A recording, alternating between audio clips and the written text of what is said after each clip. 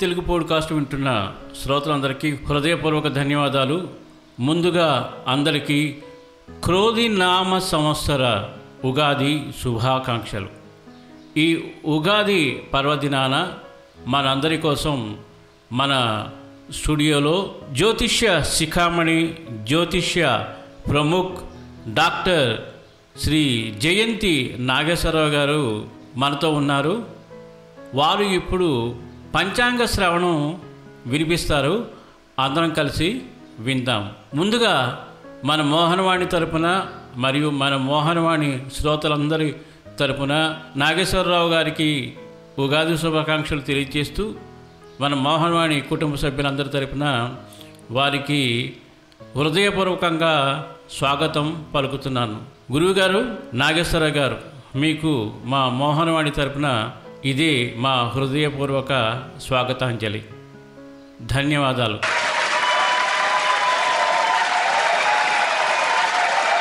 ఓం శ్రీ గురుభ్యో నమ. గురు బ్రహ్మ గురు విష్ణు గురుదేవ్ మహేశ్వర గురు సాక్షాత్ పరం బ్రహ్మ. తస్మై శ్రీ గురువే నమ. ఓం శ్రీ మహాగణాధిపతయే నమ. మాతాపితృభ్యో నమో నమ. సర్వేభ్యో మహాజనేభ్యో నమ. సర్వకాల గురువేభ్యో నమ. ఓం. మోహన్వాణి తెలుగు పాడ్కాస్ట్ శ్రోతలకి స్వాగతం సుస్వాగతం. శ్రీ క్రోధినామ సంవత్సర ఉగాది సందర్భంగా మీ అందరికీ నా శుభాకాంక్షలు. ఈరోజు శ్రీ కోధినామ సంవత్సర ఉగాది సందర్భంగా మనం పంచాంగ శ్రవణం చేసుకుంటున్నాము. ఈ పంచాంగ శ్రవణం అన్నది అనాదిగా మనకు ఒక ఆచారము.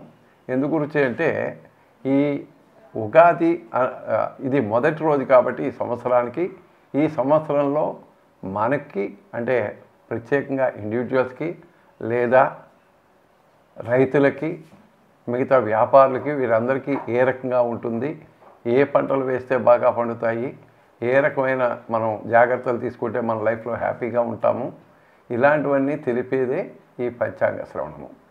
ఈ పంచాంగ శ్రవణంలో పంచాంగము అంటే ఐదు అంగాలు కూడింది.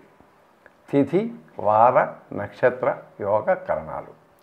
ఇవి గాక మనకి ప్రతి సంవత్సరంలో కూడా ఈ పంచాంగంలో నవనాయక నిర్ణయం జరుగుతుంది. నవనాయకులు ఎవరు అంటే రాజు మంత్రి సేనాధిపతి అర్ఘ్యాధిపతి మేఘాధిపతి అపర సస్యాధిపతి పూర్వ సస్యాధిపతి రసాధిపతి నీరసాధిపతి అర్ఘ్యాధిపతి మేఘాధిపతి. ఈ రకంగా నవనాయకులుగా మన నవగ్రహాల్లో కొన్ని గ్రహాలు తీసుకొని నిర్ణయించడం జరుగుతుంది. ఈ సంవత్సరంలో మనకి వర్షయోగాలు ఎలా ఉంటాయి? పంటలు ఏ పంటలు బాగా పండుతాయి? సరుకుల ధరలు ఎలా ఉంటాయి? వీటిని అనుసరించి మన జీవన ప్రణాళికను తయారు చేసుకోవడానికి గురించని ఈ పంచాంగ శ్రవణం బాగా ఉపయుక్తంగా ఉంటుంది. తర్వాత అదే కాకుండా ఈ సంవత్సరంలో వచ్చే గ్రహణాలు మూఢాలు నదీ పుష్కరాలు కూడా తెలుపబడతాయి.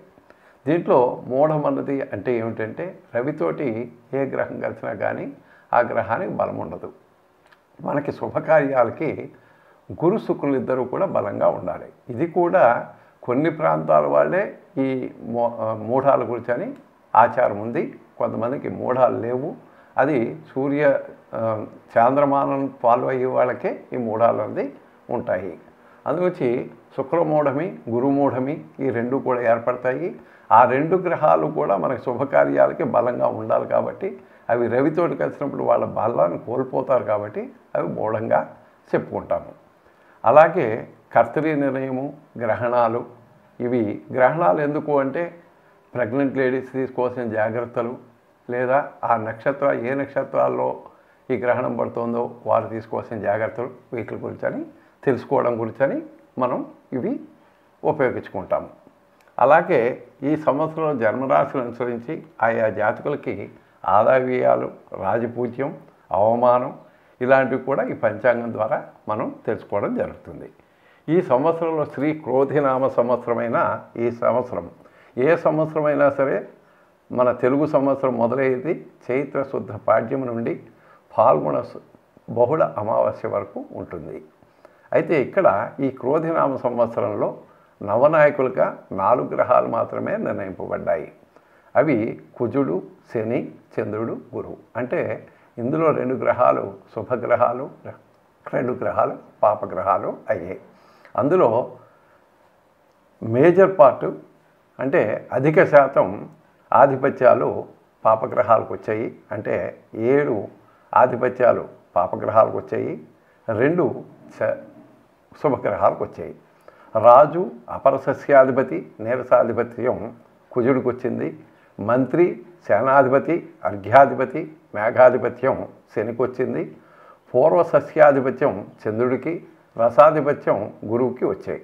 ఈ రకంగా నవనాయకులుగా ఈ సంవత్సరంలో పూజ శని చంద్ర గురువులు మాత్రమే వీటి వీరికే మాత్రం దక్కింది. ఇందులో ఇద్దరు శుభగ్రహాలు ఇందాక చెప్పుకున్నట్టుగా ఇద్దరు శుభగ్రహాలు ఇద్దరు పాపగ్రహాలు. అంటే నవనాయకుల్లో ఇద్దరు శుభులు ఏడుగురు పాపులు అయ్యారు.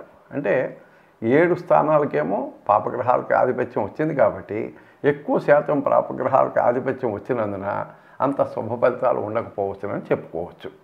దీని ఫలితంగా పగటి కాలంలో రవికి ఆర్ద్ర ప్రవేశం జరిగినందున సస్యనాశనము జగద్విపత్తులు సంభవం. అలాగే ధరలు తగ్గుతాయని కూడా చెప్పుకోవచ్చు. పశుపాలకుడు గోష్ఠాకార ప్రాపకుడు అయినటువంటి యముడు గోష్ఠ బహిష్కర్త అయిన బలరాముడిచే వ్యవసాయము పాడిపట్టలందు తక్కువ శ్రద్ధ ఉంటుంది. అంటే ఇంట్రెస్ట్ అన్నది వ్యవసాయం చేయడంలో తక్కువగా ఉండవచ్చు. వర్షము రెండు తూములు. అనగా మొత్తం ఇరవై ఐదు భాగ ఇరవై భాగాల్లో తొమ్మిది భాగాలు పర్వతములలోనూ తొమ్మిది భాగాలు సముద్రంలోను మిగిలిన రెండు భాగాలు మాత్రమే భూమిపై కురుస్తాయి. అంటే వర్షపాతం తక్కువగా ఉంటుందని కూడా చెప్పవచ్చు. ఎర్రని పర్వత ప్రాంత భూములు బాగా పండుతాయి. ఫలిస్తాయి అని చెప్పి చెప్తాము అంటే పండుతాయి అని. ధాన్యాదుల కంటే ఫలపుష్పాదుల ఉత్పత్తులు బాగా అధికంగా ఉంటాయి. మొత్తం మీద పదహారు వేసములకు గాను ఏడు వేసముల పంట లభించును. అంటే మనకి చేతికి దక్కేది పదహారు భాగాల్లో ఏడు భాగాలు మాత్రమే మనకి దక్కుతాయి. జ్యేష్ఠ మాసంలో శుక్లపక్షంలో తొలకరి వర్షం కురుస్తుంది. దీన్ని బట్టి మీరు పంటలు వేసుకోవడానికి కానీ మీ ప్రయత్నాలు చేసుకోవచ్చు అని చెప్పి రైతులకి ఒక సలహా ఇవ్వడం అన్నది జరిగింది. అలాగే ఈ సంవత్సరం రాసుల వారీగా ఆదాయము వ్యయము రాజపూజ్యము అంటే గౌరవము అవమానము. ఇవి నాలుగు కూడా తెలపబడతాయి. ఇందులో మేషానికి ఆదాయం ఉంది వ్యయం పద్నాలుగు. అంటే ఖర్చు ఎక్కువగా ఉంటుంది అని చెప్పవచ్చు. రాజపూజ్యం నాలుగు అవమానం మూడు. వీరికి అవమానం తక్కువగా ఉంటుందని చెప్పవచ్చు ఒక శాతం. అలాగే వృషభ రాశి వారికి రెండు ఆదాయము వ్యయం ఎనిమిది. అంటే వీరికి ఖర్చు ఎక్కువగా ఉంటుంది వీరికి కూడా. అధికంగా ఉంటుంది. రాజపూజ్యం ఏడు అవమానం మూడు. మిథునం వారికి ఐదు ఆదాయము వ్యయం ఐదు. అంటే సమానంగా ఉంటుంది. ఆదాయం వ్యయం కూడా సమానంగా ఉంటుంది అని చెప్పవచ్చు. అలాగే రాజపూజ్యం మూడు అవమానం ఆరు. అవమానం మాత్రం ఎక్కువగా ఉంటుంది వీరికి. కర్కాటకం వారికి పద్నాలుగు ఆదాయము వ్యయం రెండు మాత్రమే. అంటే చాలా తక్కువగా ఖర్చు పెడతారు అని చెప్పి చెప్పుకోవచ్చు. అలాగే రాజపూజ్యం ఆరు అవమానం ఆరు. సమానంగా ఉంటాయి రాజపూజ్య అవమానాలు. సింహం వారికి ఆదాయం రెండు వ్యయం పద్నాలుగు. ఇది బాగా ఎక్కువ ఖర్చు పె ఖర్చు ఉంటుంది అని చెప్పి వీరికి చెప్పుకోవచ్చు. రాజపూజ్యం అవమానం కూడా రెండు మాత్రమే ఉంది. సమానంగా ఉన్నాయి వీరికి. కన్యవారికి ఐదు ఆదాయము ఐదు వ్యయము. అంటే సమానంగా ఉంటుంది వీరికి ఖర్చు. మిథునం వారిలాగే వీరికి కూడా సమానంగా ఉంటుంది అని చెప్పుకోవచ్చు. రాజపూజ్యం ఐదు అవమానం రెండు. వీరికి అవమానం తక్కువగా ఉంటుంది. తులా వారికి రెండు ఆదాయము వ్యయం ఎనిమిది. అంటే వీళ్ళ ఖర్చు బాగా ఎక్కువగా ఉంటుంది అని చెప్పుకోవచ్చు. రాజపూజ్యం ఒకటి అవమానం ఐదు. ఇక్కడ కూడా అవమానం కూడా బాగా ఎక్కువగానే ఉంది కన్యవారికి వ్యవస్ వృశ్చిక రాశి వారికి. ఎనిమిది ఆదాయము పద్నాలుగు వ్యయము. అంటే వీరికి కూడా ఖర్చు కొంచెం ఎక్కువగానే ఉంటుంది ఆదాయం కన్నా. అలాగే రాజపూజ్యం నాలుగు అవమానం ఐదు. ఒక శాతం అవమానం ఎక్కువగా ఉంటుంది. ధనుర్రాశి వారికి ఆదాయం పదకొండు వ్యయం ఐదు. అంటే వ్యయం తక్కువగా ఉంటుంది అని చెప్పుకోవచ్చు. రాజపూజ్యం ఏడు అవమానం ఐదు. అలాగే మకర రాశి వారికి పద్నాలుగు ఆదాయం పద్నాలుగు వ్యయం సమానంగా ఉంటుంది. అలాగే రాజపూజ్యం మూడు అవమానం ఒకటి. కుంభం వారికి కూడా రాజపూజ్యం అవమానం మకర రాశి వారిలాగే పద్నాలుగు పద్నాలుగు. ఇద్దరికీ కూడా సమానంగా ఉంది. దీని ఆధిపత్యం శని అవ్వటం వల్ల కూడా కావచ్చు ఇది. తర్వాత రాజపూజ్యం కుంభం వారికి ఆరు అవమానం ఒకటి. అంటే గౌరవం ఎక్కువగా ఉంటుంది అని చెప్పవచ్చు కుంభరాశి వారికి. ఇది ఒక రకంగా చెప్పాలంటే ఈ రాశుల వారికి కుంభరాశి వారికి ఏలినాడు శని ప్రభావం కూడా ఉంది కాబట్టి శని ప్రభావం ఎక్కువ ఉండి వాళ్ళకి ఫేవరబుల్గా ఉన్నాడు అని చెప్పి కూడా చెప్పుకోవచ్చు మనం. మేనం వచ్చేప్పటికి పదకొండు ఆదాయము వ్యయం ఐదు. తర్వాత రాజపూజ్యం రెండు అవమానం నాలుగు. ఇక్కడ ఖర్చు ఎక్కువగా ఉంటుంది అవమానం కూడా ఎక్కువగా ఉంటుంది అని చెప్పవచ్చు మీన రాశి వారికి. అలాగే మనము ఈ గో జగలగ్నం అని చెప్పి అంటాము. అంటే ఈరోజు ఉగాది రోజుని మనం చక్రం తీసుకుని రాశి చక్రం ఆ రాశి చక్రంలో ఉన్న గ్రహాలను బట్టి మనం వీరి ఒక్కొక్క రాశి వారికి వాళ్ళకి ఉండే ఫలితాలని చెప్తాము.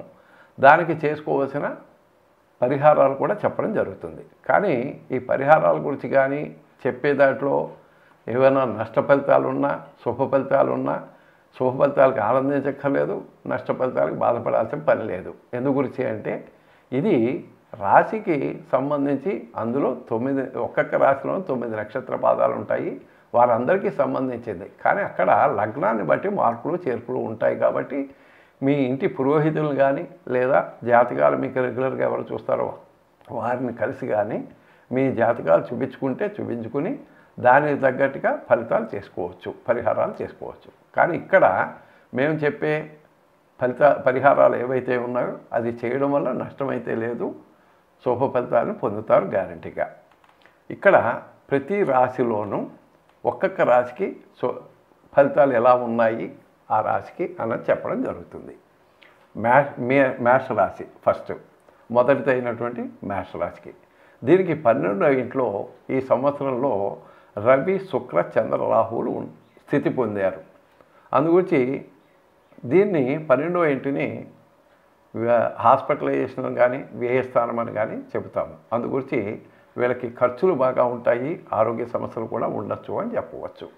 దీనికి పరిహారాలు ఏం చేసుకోవాలంటే ఏది పరిహారం చేసుకున్నా కానీ మొదట వారి పేరు గోత్రం చెప్పుకుని అది వారి అడ్రస్ అవుతుంది దేవుడికి వీరికి మధ్యలో. ఎంచేదంటే అందులో గోత్రం అన్నది వారి పూర్వీకుడు ఆది పురుషుడైనటువంటి వాడిది కాబట్టి ఆయన ద్వారా మనకు సుఖం వచ్చినా కష్టం వచ్చినా దేవుడికి చెప్పుకుంటాం కాబట్టి మనం గోత్రనామాలు కనీసం చెప్పుకోవాలి. సంకల్పం పూర్తిగా చెప్పుకోగలిగితే చాలా సంతోషం.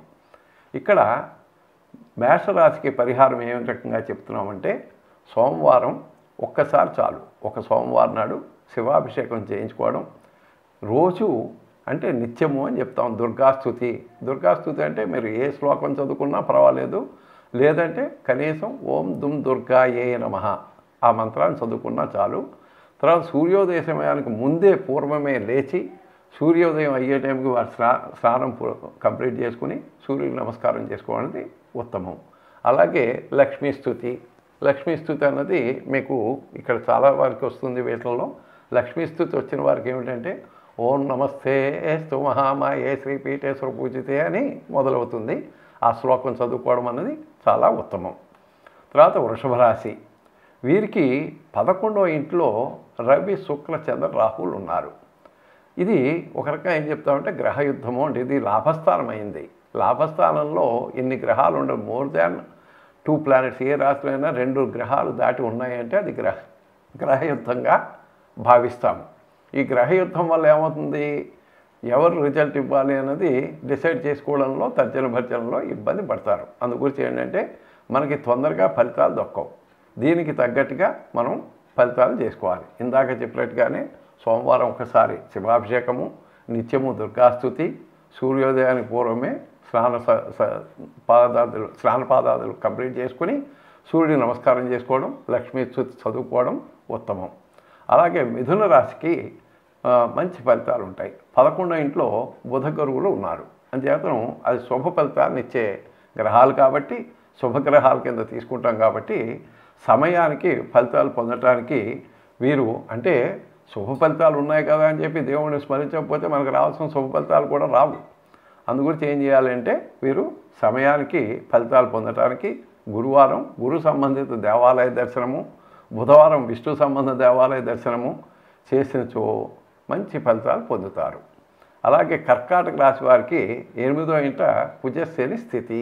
అంటే కుజశనులు ఎనిమిదో ఇంట్లో ఉన్నారు అక్కడి నుంచి కర్కాటక నుంచి. ప్రమాదాలకి ఆస్కారం ఉంటుంది. వెన్నెముక సంబంధిత అంటే బ్యాక్ పెయిన్ ఇబ్బందులు కలగటానికి అవకాశం ఉంటుంది. దీనికి వీరు ఏం చేయాలంటే మంగళవారం మంగళవారం జంట నాగులకి మూడు ప్రక్షణాలు తీసుకోవడం అంటే గుళ్ళల్లో చెట్టు కింద జంట నాగులు నాగులు పెరుగు వేసుకున్నవి ఉంటాయి. దానికి ప్రదక్షిణ మూడు ప్రదక్షిణాలు చేసుకోవడం. తర్వాత మగవారు నిత్యం కూడా హనుమత్ ప్రార్థన అంటే హనుమాన్ చాలీసా చదువుతారా హనుమాన్ దండకం చదువుతారా హనుమాన్ అష్టోత్తరం చదువుకుంటారా అది మీ ఇష్టం. ఏ, ఆడవారైతే మూ- తర్వాత దేవాలయం హనుమత్ దేవాలయంలో మూడు ప్రదక్షిణాలు. అలాగే ఆడవాళ్ళు అయితే కనుక వెంకటేశ్వర స్వామికి ఆరాధన చేసుకుని ప్రత్యేకంగా ఇంట్లోనే చేసుకోవచ్చేది. ప్రత్యేకంగా శనివారం నాడు వడపప్పు పానకం నివేదన చేసుకుంటే కనుక చాలా శుభ ఫలితాలను పొందుతారు. అలాగే సింహరాశి వారికి ఎనిమిదో ఏంట రవి శుక్ర చంద్ర రాహువులు ఉన్నారు కాబట్టి వీరికి కానీ అంటే ఈ జాతకులు కానీ లేదా వారి తల్లిదండ్రులకు కానీ ఆకస్మిక ఇబ్బందులు ఎదురు కావచ్చును అంటే ఇబ్బంది పడతారు ఒక రకంగా అవ్వచ్చు అని చెప్పి చెబుతున్నాము. సోమవారం నాడు ఒకసారి అభిషేకము నిత్యము దుర్గాస్తుతి సూర్య సూర్యోదయానికి పూర్వమే లేవటము లేచి సూర్యుడికి సూర్యోదయం సమయానికి సూర్యుడికి నమస్కారం చేసుకోవడం లక్ష్మీ స్థుతి చేసుకోవడం ఉత్తమం. మేషరాశి వారికి చెప్పిన ఫలితమే ఇక్కడ కూడా అదే పరిహారాలు చెప్పడం జరిగింది. అలాగే కన్యరాశి వారికి ఆరో ఇంట కుజశనులు ఏడో ఇంట రవి శుక్ర చంద్ర రాహువులు ఉన్నారు. ఈ స్థితి వల్ల ఏమవుతుందంటే వీరికి పుళ్ళు ఒంటి మీద పుళ్ళు వచ్చే వ్రణాలు అంటారు. అంటే పుళ్ళు వచ్చే బా ఇబ్బంది కావచ్చు లేదా వెన్నెముక సంబంధిత అంటే బ్యాక్ పెయిన్ ఇలాంటివి లేదా జీవిత భాగస్వామితో అంటే భార్య లేక భర్తతో ఇబ్బందులు పడే అవకాశాలు ఉంటాయి. సోమవారం ఒకసారి శివాభిషేకము నిత్యము దుర్గాస్తుతి సూర్యోదయ సమయాన్ని సూర్యుడికి నమస్కారము లక్ష్మీస్తుతి మరియు జంట నాగురులకి మంగళవారం నాడు మూడు ప్రదక్షిణములు. మగవారేమో హనుమత్ ప్రార్థన హనుమత్ దండకం కానీ హనుమత్ చాలీసా కానీ ఇందాక చెప్పినట్టుగా చేసుకోవడం శనివారం నాడు. హనుమ హనుమత్ దర్శనం చేసుకొని మూడు ప్రదక్షిణాలు చేసుకోవటం. ఆడవారు ఇంట్లోనే వెంకటేశ్వర స్వామికి ఆరాధన చేసుకుని అంటే గోవిందనామం చదువుతారా వెంకటేశ్వర అష్టోత్తరం చదువుతారా అది మీరు చూసుకుని దాన్ని బట్టి శనివారం నాడు ప్రత్యేకంగా వడపప్పు పానకం నివేదన చేసుకుంటే మంచిది. తర్వాత తులారాశి. ఇక్కడ ఏడో ఎంట బుధ గురువులు ఉన్నారు. శుభ్రే అయినప్పటికీ ఇది వివాహానికి సంబంధించిన స్థానం. అంటే కళత్ర కారకత్వము అని చెప్పంటాం ఏడో స్థానాన్ని. ఇక్కడ వీళ్ళు స్థితి పొందడం వలన కొన్ని ఇబ్బందులు ఉండొచ్చు.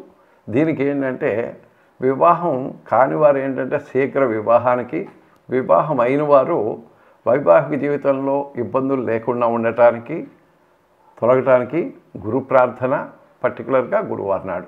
లేదా ఇంటికి పురోహితులు కానీ లేదా వారి గురువులు ఇంటి గురువుగా భావించిన వారికి కానీ ఏం చేయాలంటే తెల్లటి వస్త్రాలు దాని మీద బంగారపు అంచు కానీ లేదా ఎల్లో అంచు కానీ ఉన్న బట్టలు వారికి తగు దక్షిణతో దానం ఇవ్వటం ఒకసారి చాలు ఒక గురువారు నాడు. చేసుకుంటే చాలా ఉత్తమం ఉంటుంది. బుధవారం నాడు విష్ణు దేవాలయానికి వెళ్ళి అక్కడ దర్శనం చేసుకోవడం కానీ దానికి సంబంధించిన ఏదైనా చదువుకోవడం. మీ ఇష్టదైవం ఎవరు? విష్ణు సంబంధంలో ఎలా అంటే విష్ణు సంబంధమైనది రాముల వారు లక్ష్మీనరసింహస్వామి వెంకటేశ్వర స్వామి వీళ్ళందరూ ఉన్నారు కాబట్టి వాళ్ళలో ఎవరు మీకు ఇష్టమైతే వారికి సంబంధించిన ప్రార్థన చేసుకోవడం అనేది చాలా ఉత్తమం. ఇంకా నెక్స్ట్ వృశ్చికం.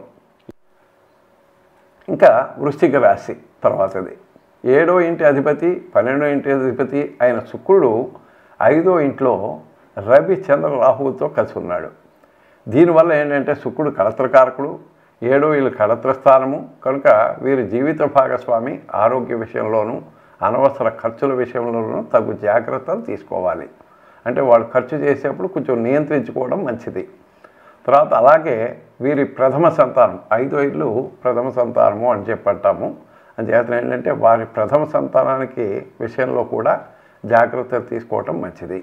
ఒక గురువారం లక్ష్మీ అమ్మవారికి కుంకుమ పూజ శుక్రవారం దుర్గా అమ్మవారి కుంకుమ పూజ దుర్గాస్తుతి చేసుకున్నచో చాలా ఆనందంగా ఉంటారు వీళ్ళు. అలాగే లక్ష్మీ అమ్మవారికి తీపి పదార్థం ఏదైనా నివేదన చేసుకోవడం దుర్గా అమ్మవారికి ఏంటంటే పులిహార లేదా బియ్య పరవాన నైవేద్యం నివేదన చేయటం అనేది చాలా ఉత్తమం. అలాగే ధను ధనుష్ రాశి నెక్స్ట్. లగ్న చతుర్థాధిపతి గురువు సప్తమ దశమాధిపతి బుధినితో ఐదో ఇంట స్థితి పొంది ఉన్నాడు. ప్రథమ సంతానానికి ఇంట బయట. మంచి ప్రోత్సాహం కలుగును.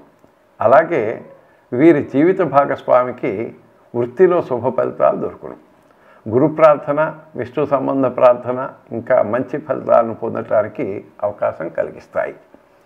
అలాగే మకర రాశి నెక్స్ట్. రాశ్యాధిపతి శని చతుర్థాధిపతి ఏకాదశి అధిపతి అయిన కుజునితో కలిసి ఉన్నాడు. ఇది ఈ వీరికి స్థిరాస్తి సంబంధిత లాభములు స్వగృహ ప్రాప్తి అవకాశము. కానీ శనితో కలిసి ఉన్నందున ఫలితాలు ఏంటంటే శని ఎప్పుడు కూడా డిలే మాస్టర్ అంటాం. డిలే మాస్టర్ కాడు. అంటే వాడు ఇవ్వను వాడు ఇస్తానంటాడు. వాడికి నచ్చినప్పుడే ఇస్తాడు. అందుకే మనం వేచి చూడాల్సి వస్తుంది. మనకి దాని మీద విసుగొచ్చి ఇంకా రాదు అనుకున్నప్పుడు ఒక్కొక్కప్పుడు ఆయన ఇస్తాడు మనకి. అందుకే దాన్ని తొందరగా పొందటానికి దాని తగ్గట్టుగా మనం ప్రయత్నాలు చేసుకోవాలి. అంటే మనం ఇవి ఉపశమనాలు చేసుకోవాలి పరిహారాలు చేసుకోవాలి.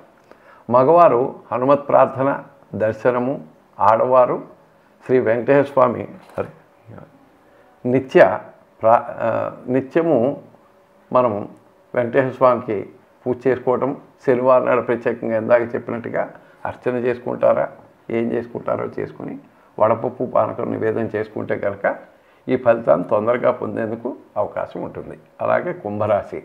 రెండో ఇంట రవి శుక్ర చంద్ర రాహువులు స్థితి పొంది ఉన్నారు. దీనివల్ల ఏమవుతుందంటే ఆర్థిక ఒడిదుకులు రెండో ఇల్లు ఏంటంటే ధనకారకత్వము వాక్కు కారకత్వము కుటుంబ కారకత్వము అని చెప్తాము. అందుగురించి ఏంటంటే ఆర్థిక ఒడుకులు ఒడిదుడుకులు ఉండవచ్చు. అలాగే సంపాదన ఏ విధంగా ఖర్చు అయిందో ఎందుకంటే రాహు అక్కడ ఉన్నాడు కాబట్టి వాడు మాయగాడు అంటాం. వాడు ఏ రకంగా ఖర్చు పెట్టామో మనకు లెక్కలు కూడా తేలవు. ఏలినాల్సిన ప్రభావం కూడా ఉంది. అంతేత దీనికి తగ్గట్టుగా మనం పరిహారాలు చేసుకుంటే మనకు ఫలితాలు తొందరగా పొందుతాము. శుభ ఫలితాలు పొందుతాము. సోమవారం ఒకసారి శివాభిషేకము నిత్యము దుర్గాస్తుతి సూర్యోదయానికి ముందే పూర్వమే లేచి సూర్య నమస్కారం సూర్యోదయం టైంకి సూర్య నమస్కారము లక్ష్మీస్తుతి ఏలినాటి శనికి మగవారు ఏంటంటే హనుమతి ప్రార్థన ఆడవారు ఇందాక చెప్పుకున్నట్టుగా వెంకటేశ్వర స్వామి ప్రార్థన నిత్యము అలాగే శనివారం నాడు వడపప్పు పానకం నివేదన చేసుకోవటం చాలా ఉత్తమం. ఇంకా ఆఖరిది least but not last but not least ఈ మీనరాశి. జన్మరాశిలో రవి శుక్ర చంద్ర రాహువులు ఉండడం వలన వీరికి మానసిక ప్రశాంతత తక్కువగా ఉంటుంది అని చెప్పి చెప్పుకోవచ్చు. దాని తగ్గ తగు జాగ్రత్తలు తీసుకోవాలి. అలాగే ఏలినాశని కూడా ఉంది. ఏలినాశని ప్రభావం కూడా ఉంటుంది కాబట్టి దీనికి తగ్గట్టుగా మనం పరిహారాలు చేసుకుంటే ఆనందంగా ఉంటాము. యథావిధిగా నిత్యము ఇష్టదైవ ప్రార్థన చేసుకుంటే కనుక మనకి చాలా మంచిది. అలాగే ఏలినాశనికి ఇందాక చెప్పుకున్నట్టుగా మగవారేమో హనుమత్ ప్రార్థన ఆడవారు వెంకటేశ్వర స్వామి సంబంధించిన చేసుకోవడం నివేదన వడపప్పు పానకం నివేదన చేసుకోవడం వలని చాలా వాళ్ళు శుభ ఫలితాలను పొంది ఆనందంగా ఉంటారు. అలాగే నెక్స్ట్ ఇంకా మనకి మెయిన్గా తెలుసుకోవాల్సిన మూఢాలు. ఈ సంవత్సరంలో మనకి మూఢాలు ఏంటంటే శుక్రమూఢమి గురుమూఢమి రెండు కూడా ఉన్నాయి. ఇది మొదలయ్యేది రేపు మే ఒకటో తారీఖు నుంచి. జూలై ఏడవ తారీఖు వరకు శుక్రమూఢం ఉంది. అలాగే మే ఐదు నుండి గురుమూఢం ప్రారంభమయ్యి జూన్ ఒకటి ఒకటో తారీఖు తోటి గురుమూఢం అయిపోతుంది. పద్దెనిమిది మూడు రెండు వేల ఐదు. మరలా శుక్రమూఢం మొదలయ్యి ఇరవై ఐదు మూడు రెండు వేల ఇరవై ఐదో తేదీని ఆ త్యాగం పొందుతుంది. త్యాగం అంటే అక్కడికి కంప్లీట్ అవుతుంది. జాతను ఈ సంవత్సరంలో ఆల్మోస్ట్ మే నుంచి జూలై దాకా కూడా మూఢాలు ఉన్నాయి కాబట్టి శుభముహూర్తాలు లేవు అని చెప్పి చెప్పుకోవచ్చు. అలాగే సూర్య చంద్రగ్రహణాలు ఈ సంవత్సరంలో మన దేశంలో అంటే ఇండియాలో వేరే దేశాల వాళ్ళకి అక్కడ దానికి తగ్గట్టుగా చూసుకోవాలి. వాళ్ళ ఫలితాలు అక్కడ లోకల్ పంచాంగం ప్రకారం ఏమున్నాయి? సూర్యగ్రహణాలు ఉన్నాయా? చంద్రగ్రహణాలు ఉన్నాయా? అని చూసుకోవాలి. యుఎస్లో కూడా ఉన్నాయి. అది చూసుకోవటమే. ఈ సంవత్సరంలో ఇండియాలో మాత్రం సూర్య చంద్రగ్రహణాలు గోచరించవు. అంటే గ్రహణాలు లేవు మనకి. అలాగే పుష్కరాలు. ఈ సంవత్సరంలో నర్మదా నదికి పుష్కర నిర్ణయం జరిగింది. పుష్కర నిర్ణయం ఎలా జరుగుతుంది అంటే గురువు ఏ రాశిలోకి చే- వస్తే ఆ రాశిని బట్టి ఒక్కొక్క నదికి పుష్కరము అని చెప్పి చెబుతాము. గోదావరి పుష్కరాలు రావాలంటే గురువు సింహంలోకి ఎంటర్ అవ్వాలి. కృష్ణా పుష్కరాలకి కన్యలోకి గురువు రావాలి. కానీ ఈసారి గురువు ఒకటి ఐదు రెండు వేల ఇరవై నాలుగు నాడు మనకి వృషభంలోకి వస్తున్నాడు. అంచేతను నర్మదా నదికి పుష్కరాలు ఉన్నాయి. అంచేత దాని తగ్గట్టుగా మీరు వెళ్ళి అక్కడ పరిహారాలు చేసుకుంటారో లేకపోతే పుణ్యతిథులు చేస్తారో పితృకార్యాలు చేస్తారో చేసుకుని దాని ఫలితాలు శుభ ఫలితాలు పొంది ఆనందంగా ఉండాలని నా కోరిక. మంగళం కౌశలేంద్రాయ మనే గుణాత్మనే చక్రవర్తి తనూజాయ సార్వభౌమాయ మంగళం. శ్రియకాంతాయ కళ్యాణనధే నధేర్తినాం. శ్రీవేంకట నివాసాయ శ్రీనివాసాయ మంగళం. మంగళాశాసనపరైర్మదాచార్య ప్రోగమై. సర్వైశ్చ పూర్వైరాచార్యై సత్కృతాయాస్తు మంగళం. శుభమస్తు. సమస్త మంగళాని భవంతు. శుభం భూయాత్. నా పేరు జయంతి నాగేశ్వరరావు. మీకు టెలిఫోన్ నెంబరు అవన్నీ కూడా ఇందులో ఇవ్వడం జరిగింది.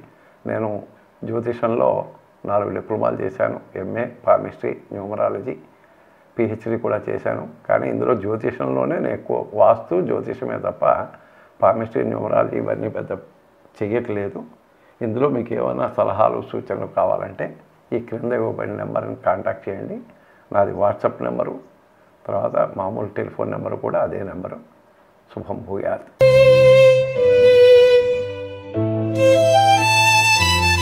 మోహనవాణి తెలుగు పోడ్కాస్ట్ ఛానల్ని లైక్ షేర్ సబ్స్క్రైబ్ చేయండి. ప్రక్కనున్న గంటను మ్రోగించండి.